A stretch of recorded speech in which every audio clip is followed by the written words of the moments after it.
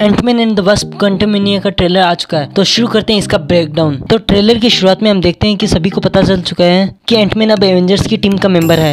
इसीलिए वो बहुत ज़्यादा फ़ेमस भी हो चुका है। लेकिन कुछ लोग एंटमैन को स्पाइडरमैन से कंफ्यूज हो रहे हैं। ये इसीलिए हो रहा है क्योंकि हमने स्पाइडरमैन नो वे मूवी में देखा कि डॉक्टर स्ट्रेंज के स्पेल की वजह से सभी लोग स्पाइडरमैन की आइडेंटिटी भूल चुके थे। और स्पाइडरमैन के सूट का कलर भी रेड था और एंटमैन के सूट का कलर भी रेड है। तो इसीलिए कुछ लोग कंफ्यूजन में ऐसा बोल रहे हैं। और आगे हमने देखा की एंटमैन सेलिब्रिटी बन चुका है। इसलिए वो अपनी बेटी को बिल्कुल भी टाइम नहीं दे पा रहा है। और साथ ही इससे पहले पाँच साल क्वांटम रियल में रहने की वजह से उसने अपनी बेटी को बिल्कुल भी टाइम नहीं दिया था। तो इसी बीच एंटमैन की बेटी केसी लेंग ने एक ऐसी चीज़ बना ली जिसकी वजह से मैन की पूरी फैमिली क्वांटम रियल में ट्रैप हो जाती है। और इस ट्रेलर में किंग का वेरियंट भी दिखाया है। और कहा जा रहा है की ये किंग का वॉरियर वेरियंट होगा। और अभी कुछ टाइम पहले इसका एक लीक ट्रेलर भी आया था, जिसमें हमें मोडोक नाम के विलेन को भी दिखाया था। लेकिन इस ट्रेलर में उसको नहीं दिखाया है। तो कहा जा रहा है की लीक ट्रेलर में जो मोडो का सूट था, वो सूट केविन फाइगी को बिल्कुल भी पसंद नहीं आया था। और अब उस सूट पर फिर से काम किया जाएगा। तो इसीलिए मोडो को इस ट्रेलर में नहीं दिखाया है। शायद इसके आगे आने वाले ट्रेलर में मोडो को दिखाया जाए। और इस मूवी के डायरेक्टर ने ये कंफर्म कर दिया है कि ये मूवी हाईएस्ट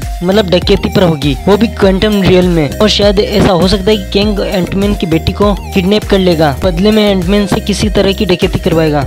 और वो किस चीज़ की डकैती होगी, वो तो मूवी में ही पता चलेगा। तो आपको मेरा ये ट्रेलर बैकग्राउंड कैसा लगा? कमेंट डाउन बिलो वीडियो को लाइक और चैनल को सब्सक्राइब कर देना एंड थैंक्स फॉर वॉचिंग